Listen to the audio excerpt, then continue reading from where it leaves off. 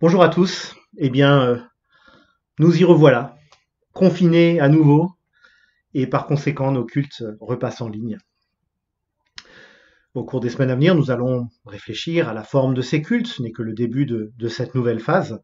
Et qui sait, qui sait, peut-être que ce n'est que pour quelques semaines, même si, euh, à vrai dire, on n'ose plus trop faire de pronostics.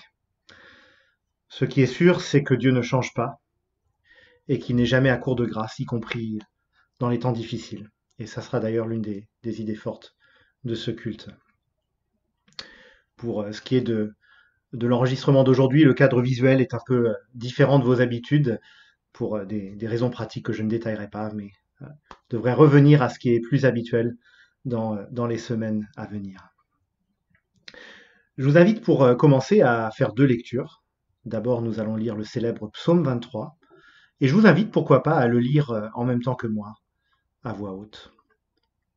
Le texte sera projeté à l'é- à l'écran. Psaume 23. Psaume de David.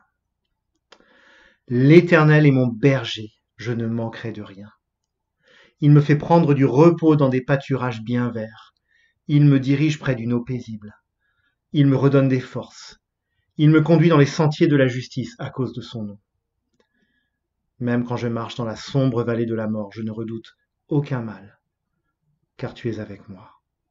Ta conduite et ton appui, voilà ce qui me réconforte. Tu dresses une table devant moi, en face de mes adversaires. Tu verses de l'huile sur ma tête et tu fais déborder ma coupe. Oui, le bonheur et la grâce m'accompagneront tous les jours de ma vie, et je reviendrai dans la maison de l'Éternel jusqu'à la fin de mes jours. Amen. Le second texte, nous le trouvons dans l'évangile de Jean au chapitre 6, les versets 5 à 13. Jean 6, versets 5 à 13. Là encore, le texte est, est projeté à l'écran. Jésus leva les yeux et vit une grande foule venir vers lui. Il dit à Philippe, Où achèterons-nous des pains pour que ces gens aient à manger? Il disait cela pour le mettre à l'épreuve, car lui-même savait ce qu'il allait faire. Philippe lui répondit, Les pains qu'on aurait pour 200 pièces d'argent ne suffiraient pas pour que chacun en reçoive un peu. Un de ses disciples, André, le frère de Simon-Pierre, lui dit, Il y a ici un jeune garçon qui a cinq pains d'orge et deux poissons, mais qu'est-ce que cela pour tant de monde? Jésus dit, Faites asseoir ces gens. Il y avait beaucoup d'herbe à cet endroit. Ils s'assirent donc au nombre d'environ cinq mille hommes. Jésus prit les pains, remercia Dieu et les distribua aux disciples qui les donnèrent à ceux qui étaient là. Il leur distribua de même des poissons, autant qu'ils en voulurent.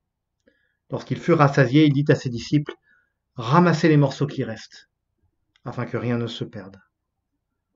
Ils les ramassèrent donc et ils remplirent douze paniers avec les morceaux qui restaient des cinq pains d'orge après que tous eurent mangé. Ce deuxième texte nous rappelle que Dieu nous rencontre dans notre grand besoin de lui. Et alors que nous n'avons rien de solide et de durable par nous-mêmes, ses ressources à lui sont inépuisables. Et combien nous avons besoin d'entendre cela ces temps-ci?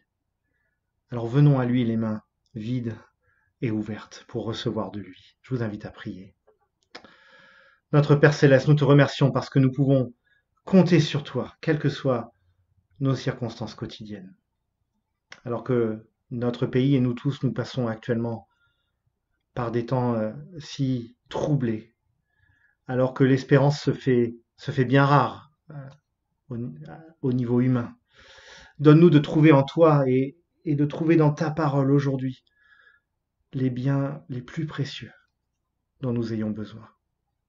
Nourris-nous, non seulement aujourd'hui, mais tout au long de cette période de confinement. Aide-nous à garder courage et, à garder les yeux fixés sur ton Fils Jésus, qui a lui-même connu la souffrance jusqu'à la croix, mais qui aujourd'hui est le Seigneur de la vie et de la paix. Par ton esprit, donne-nous faim et soif de toi. Donne-nous de te rechercher, toi, plutôt que les fausses espérances qui nous sont proposées par ailleurs. Parle, Seigneur. Nous voulons t'entendre. Amen. Nous allons chanter un premier chant interprété, alors l'enregistrement s'est fait il y, a, quelques mois, euh, mais interprété donc par notre groupe de louanges, un chant que nous connaissons bien. Béni soit ton nom. Je vous invite à vous lever, si vous voulez bien, chez vous, pour euh, chanter euh, ce cantique.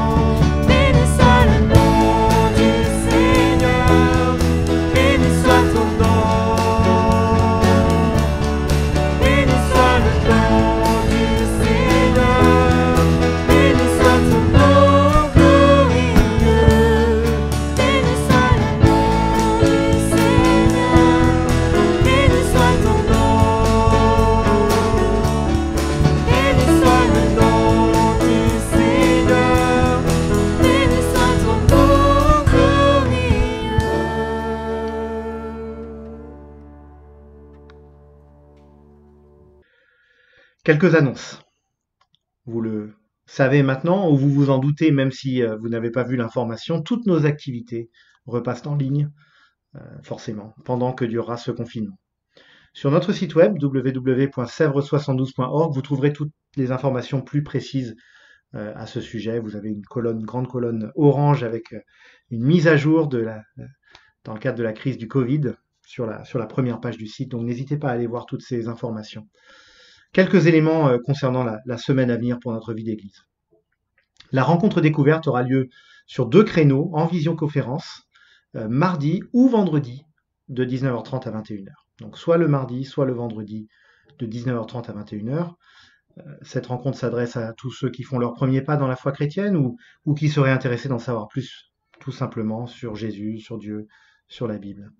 Et si c'est votre cas et que vous ne savez pas comment vous connecter à cette rencontre, eh bien vous avez euh, les informations euh, sur, le, sur le site euh, où vous pouvez nous contacter par le, formulaire contact du site web.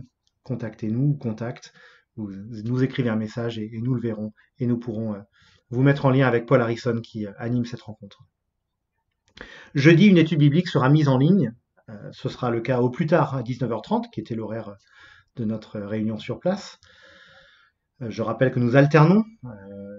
Nous alternons maintenant avec une réunion de prière en visio une semaine sur deux et une étude biblique en ligne euh, l'autre semaine. Euh, Pour ce qui est de ce jeudi, donc, euh, une étude biblique en ligne que vous pourrez regarder à votre convenance et qui sera mise sur notre page YouTube et le lien sera envoyé par email jeudi. Le conseil de l'Église se réunit lundi soir en visioconférence, bien sûr, et cela nous permettra de faire le point sur plusieurs aspects de ce nouveau régime dans lequel nous nous trouvons et de donner bientôt plus d'informations sur la manière dont nous allons pouvoir vivre notre vie d'Église pendant cette période. Eh bien, nous allons maintenant passer au message et euh, je vous invite à, la prière pour nous y préparer. Notre Dieu, notre Père, merci pour ta parole, nous en avons tant besoin. Veuille vraiment euh, ouvrir nos cœurs, Père, à recevoir ce que tu veux nous donner aujourd'hui encore. Donne-nous d'ouvrir nos cœurs et nos vies à ce que tu veux nous dire par ta parole aujourd'hui. Au nom de Jésus. Amen.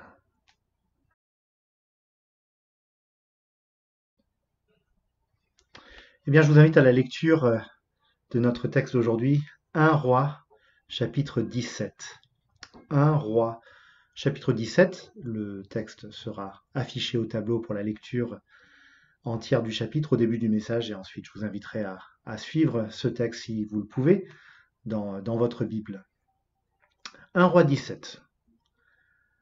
Élie le Tishbite, l'un des habitants de Galaad, dit à Akab L'Éternel, le Dieu d'Israël, dont je suis le serviteur, est vivant. Il n'y aura ces années-ci pas de rosée ni de pluie, sauf sur ma parole. Puis la parole de l'Éternel fut adressée à Élie. Pars d'ici en direction de l'est et cache-toi près du torrent de Kérit qui se trouve en face du Jourdain. Tu boiras de l'eau du torrent, et c'est au corbeau que j'ai ordonné de te nourrir là. Élie partit et se conforma à la parole de l'Éternel. Il alla s'installer près du torrent de Kérit qui se trouve en face du Jourdain. Les corbeaux lui apportaient du pain et de la viande matin et soir, et il buvait de l'eau du torrent. Mais au bout d'un certain temps, le torrent fut à sec, car il n'était pas tombé de pluie dans le pays. Alors la parole de l'Éternel lui fut adressée. Lève-toi, va à Sarepta qui appartient au territoire de Sidon, et installe-toi là. J'y ai ordonné à une femme veuve de te nourrir. Il se leva et partit à Sarepta. En arrivant à l'entrée de la ville, il y vit une femme veuve en train de ramasser du bois. Il l'appela et dit Je t'en prie, va me chercher un peu d'eau dans une cruche, afin que je boive. Et elle alla en chercher. Il l'appela de nouveau et dit Je t'en prie, apporte-moi un morceau de pain dans ta main. Et elle répondit L'Éternel, ton Dieu, est vivant. Je n'ai rien de cuit, je n'ai qu'une poignée de farine dans un pot et un peu d'huile dans une cruche. Je suis en train de ramasser deux morceaux de bois, puis je rentrerai et je préparerai cela pour mon fils et pour moi. Nous le mangerons, après quoi nous mourrons. Élie lui dit N'aie pas peur, rentre et fais comme tu l'as dit. Seulement, prépare-moi d'abord avec cela un petit gâteau et apporte-le-moi. Ensuite, tu en feras pour ton fils et pour toi. En effet, voici ce que dit l'Éternel, le Dieu d'Israël.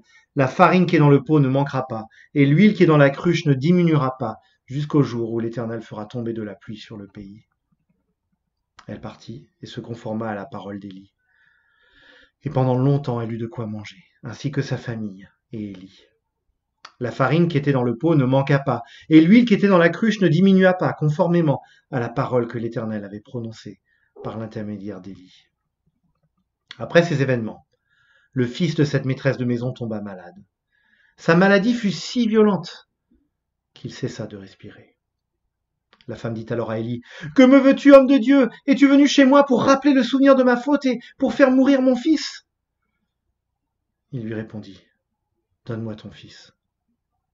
Et il le prit des bras de la femme, le monta dans la chambre à l'étage où il logeait, et le coucha sur son lit. Puis il fit appel à l'Éternel et dit, Éternel mon Dieu, est-ce que tu vas faire du mal au point de faire mourir son fils, même à cette veuve qui m'a accueilli chez elle?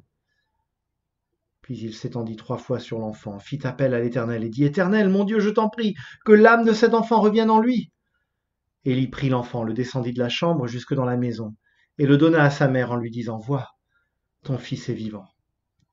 La femme dit alors à Élie Je reconnais maintenant que tu es un homme de Dieu, et que la parole de l'Éternel dans ta bouche est vraie jusqu'ici la parole de Dieu. Dans l'actualité du pays, la semaine qui vient de passer est sans doute l'une des plus sombres dont je me souvienne. Une épidémie qui s'affole. Un deuxième confinement qu'il y a quelques semaines encore, tout le monde semblait exclure. Pour nous chrétiens, il y a la douleur à nouveau de ne plus pouvoir se rassembler. Et bien sûr, au-delà de, des chrétiens, la difficulté de ne plus voir d'amis, de proches. Et puis on ajoute à cela le terrorisme qui revient en force, ce terrible drame dans une église jeudi matin. Une sombre semaine, et plus généralement une sombre époque. Une crise spirituelle profonde, des démocraties en crise, des sociétés de plus en plus divisées. Vraiment, les temps sont durs. Alors bien sûr, ce n'est pas la première fois dans l'histoire humaine que les temps sont durs. Et nous commençons ce dimanche une nouvelle série de quatre messages tirés du premier livre des rois autour du ministère du prophète Élie. Or, la période historique dans laquelle nous place ce récit était elle aussi particulièrement sombre pour le peuple d'Israël. Nous nous trouvons sous le règne du roi Akab, qui est décrit en 1 roi euh, chapitre 16, verset 30, donc juste quelques versets avant notre texte, Akab est décrit dans ces termes, il fit ce qui est mal aux yeux de l'Éternel plus que tous ses prédécesseurs. Pourtant, on voit ses prédécesseurs n'étaient pas des enfants de cœur quand on lit les chapitres qui précèdent. La fin du chapitre 16 nous dit qu'Akab a ouvertement fait la promotion du dieu Baal, du culte de Baal, une divinité païenne de l'époque. Par ailleurs, Akab s'est marié avec Jézabel, fille d'un roi sidonien païen, et la suite du récit va nous montrer que Akab et Jézabel faisaient vraiment la paire. Idolâtres, corrompus, meurtriers même. Un commentateur de l'Ancien Testament les désigne comme les Bonnie and Clyde de l'Ancien Testament. Et le livre des rois montre que ce n'était pas seulement les dirigeants qui étaient très loin du peuple de Dieu, en fait c'était le peuple tout entier qui était atteint par cette misère spirituelle. Ça ressemble finalement pas mal à notre époque. Idolâtrie, immoralité en tout genre, une véritable famine spirituelle. Et comme nous allons le voir, une famine tout court même. Dans ces temps d'épreuve, il est intéressant pour nous, aujourd'hui, qui vivons un temps d'épreuve, de voir comment Dieu a agi et s'est révélé au temps d'Élie. Bien sûr, il y a des différences fondamentales, et c'est de l'autre côté de la croix que nous, euh, que nous réfléchissons à ces choses, et cela change tout. Dieu a révélé parfaitement, pleinement et définitivement sa bonté et sa grâce en Jésus-Christ. Mais il est intéressant pour nous de voir comment il a été à l'œuvre dans une situation même très différente de la nôtre. Dans ce chapitre 17 qui ouvre ce que les commentateurs appellent le cycle d'Élie, donc toute une série de récits où euh, le prophète Élie joue un rôle important, Dieu révèle sa grâce dans une situation de profonde crise. Et je vous invite à examiner cela en trois temps. D'abord, la grâce vient rencontrer Élie, dans la première partie du texte, les versets 1 à 7. Ensuite, la grâce vient rencontrer la misère, versets 8 à 16. Et enfin, la grâce vient rencontrer la mort, versets 17 à 24. La grâce vient rencontrer Élie d'abord. Élie est un personnage qui va prendre beaucoup d'importance dans toute la fin de ce premier livre des rois.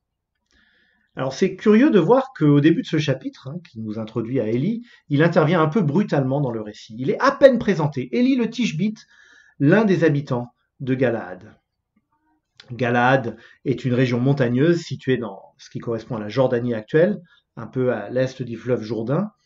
Et à l'époque, ça faisait partie euh, du royaume du nord d'Israël. Tishbé, euh, c'était la, ville de naissance euh, d'Élie dans cette région. Élie nous est donc simplement présenté comme voilà un habitant du coin. On a l'impression presque que c'est un, kidam. Et son appel en tant que prophète, d'ailleurs, n'est pas explicitement décrit dans ce texte. Mais on le voit directement à l'œuvre, il va voir le roi Akab dans la capitale du royaume, Samarie, et il lui adresse la parole de la part de Dieu. La première chose qu'Élie dit à Akab doit retenir notre attention. L'Éternel, le Dieu d'Israël dont je suis le serviteur, est vivant. Alors on peut se dire que c'est une simple formule, formule religieuse, mais en fait, ces paroles sont riches de sens et c'est précisément ce qu'Akab semble ignorer, que l'Éternel est vivant.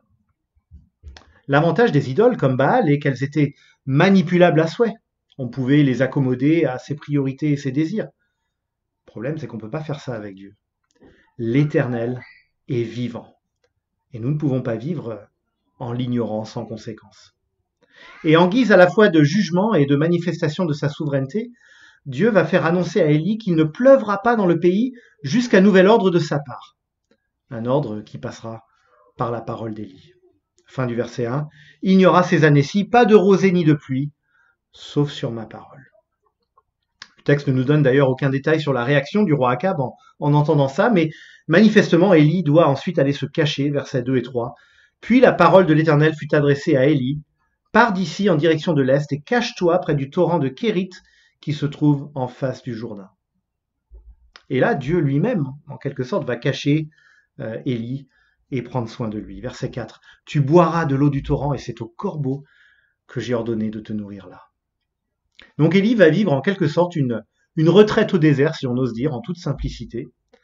Mais en fait, contrairement à ce qu'on pourrait penser à première vue, il ne va pas suivre un, un régime euh, spartiate.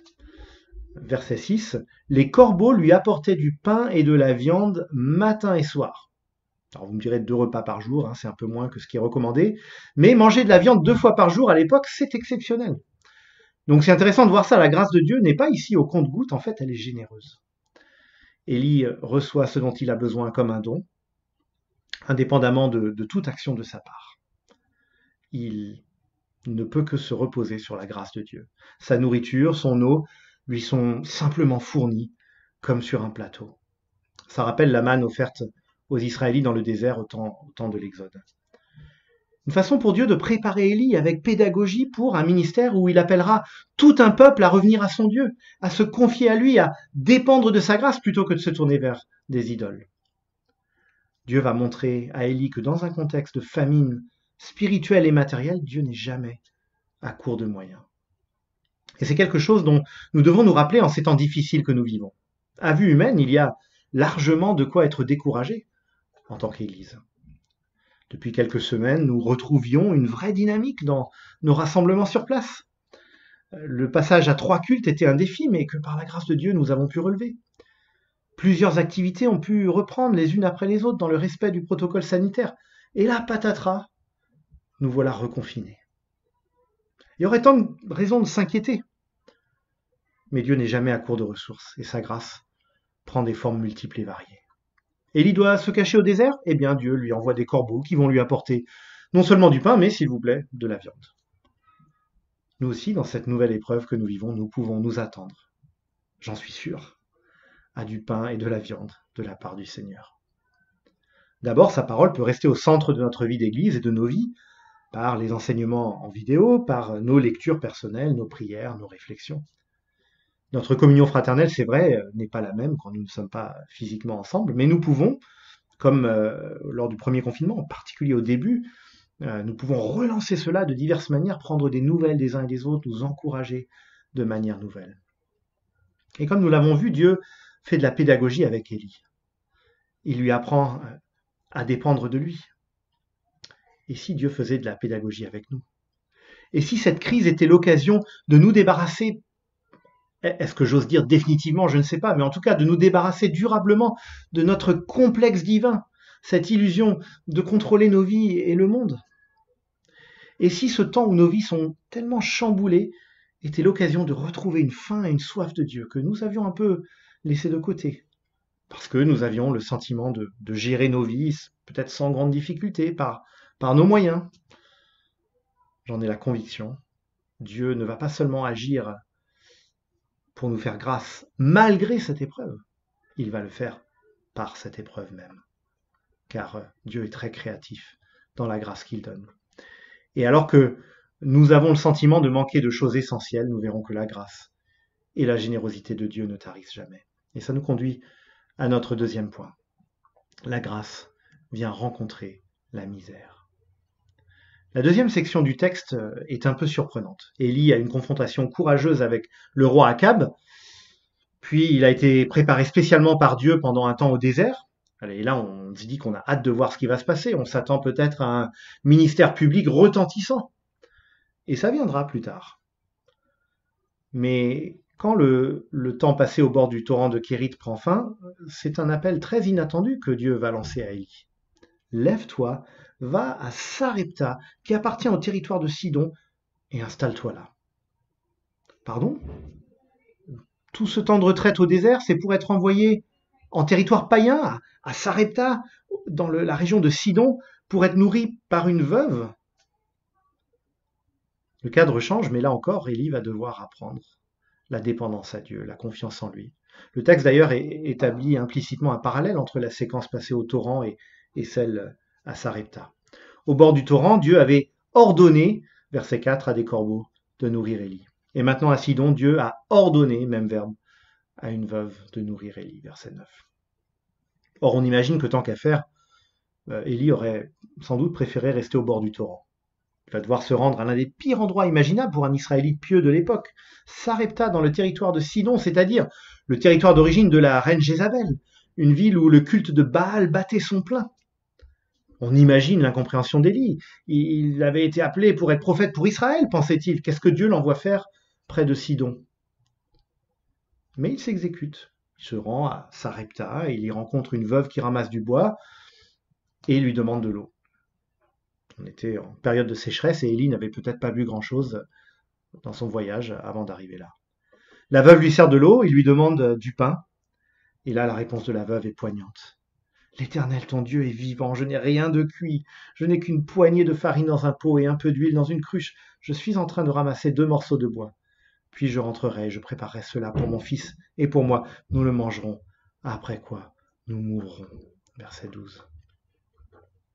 Et on note qu'on retrouve cette petite phrase à nouveau. L'Éternel, ton Dieu, est vivant. Difficile de savoir dans quelle mesure c'était une conviction pour cette femme, j'en dirai d'ailleurs un mot plus tard, mais il y a comme une contradiction entre cette phrase et le désespoir qui suit. Nous mangerons ce dernier bout de pain, après quoi nous mourrons. Cette veuve vit dans la misère. Peut-être que son veuvage avait commencé à la faire basculer dans la pauvreté, et, et ensuite la sécheresse qui s'est abattue sur le pays avait fait le reste, euh, avec la famine dévastatrice que ça a entraîné. Mais en tout cas, elle vit dans la misère. Élie demande à la veuve, pourtant, de faire confiance. N'aie pas peur. Verset 13, une parole forte qu'on retrouve souvent dans la Bible, n'aie pas peur. Et il lui promet que sans explication, elle continuera d'avoir euh, de la farine et de l'huile jusqu'à la fin de la, famine. Pardon, verset 14. Et verset 15, pendant longtemps, elle eut de quoi manger, ainsi que sa famille et Élie. Donc Dieu a bel et bien pourvu, discrètement, mais sûrement. Discrètement, mais sûrement. D'ailleurs, souvent c'est ainsi que la grâce de Dieu fonctionne. Quand nous sommes dans, le désert, euh, façon de parler, euh, il nous emmène rarement, euh, Dieu nous amène rarement tout d'un coup aux chutes du Niagara. Il nous conduit plutôt vers un ruisseau un peu caché. Les chutes du Niagara, si vous me permettez de filer un peu la métaphore, nous les connaîtrons un jour dans la nouvelle création. Et là, la grâce de Dieu sera abondamment déversée constamment et partout. Et nous en ferons l'expérience parfaite et constante. Et ici ou là, dans nos vies présentes, nous pouvons avoir bien sûr des temps de grande abondance et de, de profonde sérénité. Mais globalement, dans la condition présente, nous vivons dans un désert. La Bible le dit clairement. Or, ici, comme souvent, euh, dans le récit d'Élie et de la veuve, Dieu va prendre soin de la veuve discrètement, sans grand éclat, a priori, mais d'une manière qui vient rencontrer son besoin, rencontrer sa misère. Plusieurs siècles plus tard, on retrouvera un miracle un peu analogue, quoique à plus grande échelle, avec la multiplication des pains. Jean 6, versets 5 à 14, le texte que j'ai lu tout à l'heure. On ne sait pas d'où sont euh, sortis ces pains et ces poissons supplémentaires que les disciples de Jésus euh, continuent encore et encore à distribuer à la foule. On ne sait pas d'où ils viennent. Mais Dieu pourvoit. Comme ici avec la veuve. Dieu aime prendre le, le trois fois rien que nous avons pour en faire un instrument de sa bénédiction. Alors nous pouvons nous poser la question, quel est notre trois fois rien dans la crise actuelle? Nous pouvons nous poser cette question à, l'échelle de l'Église. Qui sommes-nous? Qui sommes-nous dans ce quartier, dans cette ville, dans ce pays? Trois fois rien. Mais par sa grâce, Dieu a fait de nous, et d'autres églises, bien sûr, les porteurs d'une parole puissante et transformatrice. Nous sommes trois fois rien, mais cette parole qui vient de Dieu, elle est tout. Personne ne peut l'arrêter. Or, nous constatons depuis le début de cette crise que nous avons plus d'occasions d'atteindre des personnes à l'extérieur de notre communauté par cette parole, grâce à la chaîne YouTube, grâce au, au culte en vidéo. Les contacts avec des personnes en recherche, en questionnement, se font assez nombreux ces derniers temps, malgré tout ce contexte. Nous voyons aussi à, petite échelle des occasions nouvelles d'être témoins d'une espérance qui nous permet de tenir bon alors que les faux espoirs de ce monde sont tellement mis à mal. Et si tout cela préfigurait un réveil spirituel futur bien plus large? Or, puisque notre Église, c'est nous, une communauté d'hommes et de femmes, posons-nous cette question aussi à titre individuel. Que pouvons-nous faire chacun de notre côté pour contribuer à ce rayonnement de la bonne nouvelle de Jésus-Christ? Peut-être envoyer à tel ami, tel collègue le lien à un culte en ligne, ou si ça fait un peu, un peu trop pour une première fois, peut-être simplement un chant on trouve tous les chants euh, sur la chaîne YouTube. Demander peut-être à tel ami, telle connaissance, euh, comment on peut prier pour, pour lui, pour elle, dans cette situation difficile. Posons-nous aussi plus largement cette question. Où voyons-nous la fidélité de Dieu au quotidien, même dans de petites choses? Quel est ce ruisseau, quelle est cette cruche d'huile? Qui vont nous permettre de tenir bon Et comment pouvons-nous être, dans nos interactions avec nos contemporains, porteurs de la grâce et de l'espérance qui viennent de Dieu? Peut-être qu'un point de départ serait d'éviter de tomber dans tous les mêmes discours que beaucoup de, nos contemporains euh, tiennent autour de la crise actuelle. Ici, des discours fatalistes, là, des discours convenus, ici, des discours culpabilisants, là, des discours euh, conspirationnistes. Je ne dis pas qu'il faut se désintéresser des débats en cours, mais je me fais la réflexion, à moi-même aussi, que nos contemporains ont tellement plus besoin de notre part de l'évangile que de rajouter des polémiques alors qu'il y en a largement assez comme ça. La grâce de Dieu est venue rencontrer la misère de la veuve de Sarepta. Elle est venue en Jésus-Christ rencontrer notre misère. Comment ne pas en témoigner? Comment ne pas vouloir refléter cela de façon prioritaire Et la suite du texte va plus loin encore dans la démonstration de la grâce de Dieu. Dieu va y révéler son caractère et sa puissance d'une manière inédite. C'est notre troisième point. La grâce de Dieu rencontre la mort.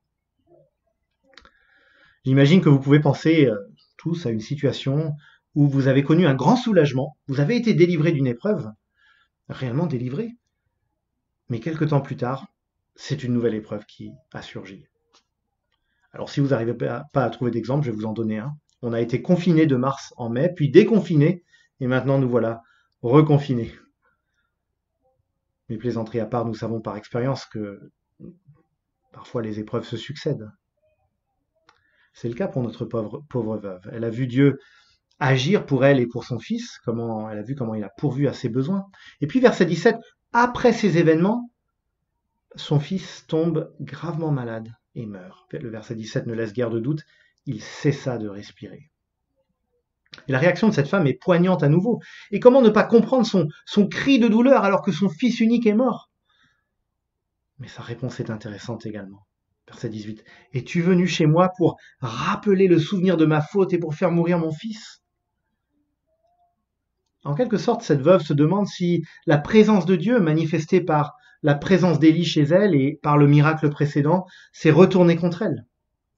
Le Dieu saint se serait mis en colère contre elle à, cause de son péché et, aurait fait mourir son fils. Alors tout n'est pas faux dans cette réaction. Dans un sens, la veuve est, lucide sur le fait que face à un Dieu saint, son péché la condamne.